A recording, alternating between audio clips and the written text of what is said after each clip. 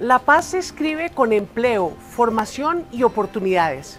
Esta semana en el Ministerio del Trabajo hemos venido avanzando en los siguientes programas. La ministra del Trabajo, Clara López, anunció que el Gobierno Nacional presentará una propuesta de salario mínimo a los representantes de las centrales obreras y a los empresarios con el propósito de buscar la concertación entre las partes.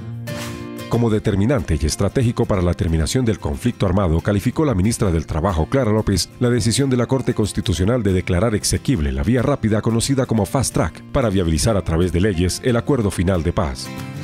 En Cartagena se instaló la segunda Mesa Regional de Economía Social y Solidaria, que cubre a los departamentos de Córdoba, Sucre, Bolívar, Atlántico, Magdalena y Cesar, para articular esfuerzos y generar las condiciones que impulsen la economía del sector solidario. Para sacar adelante estos proyectos del desarrollo rural integral, que están a la primera orden del día en las zonas rurales del departamento y de todo el país, con motivo de la firma del proceso de paz.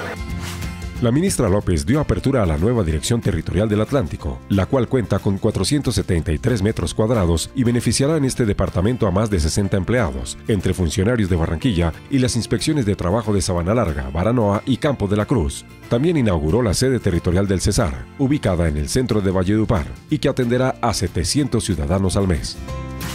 La ministra López explicó a las centrales sindicales del país el proyecto de modernización integral que hoy adelanta la cartera laboral, el cual incluye no solamente la planta física, sino también aspectos misionales en todo el país.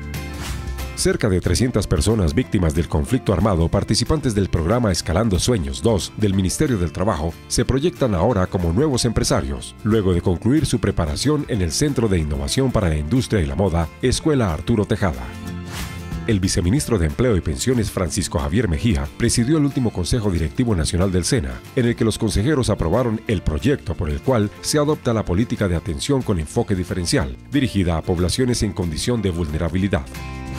La cartera laboral y el sector comercio se aliaron para erradicar el trabajo infantil en época decembrina. También participaron representantes de la Policía Metropolitana, Instituto Colombiano de Bienestar Familiar, FENALCO Bogotá Cundinamarca y las Secretarías de Integración Social y de Gobierno del Distrito. El Ministerio del Trabajo apoya a la gente defendiendo sus derechos laborales. Ministerio del Trabajo, trabajando para vivir en paz.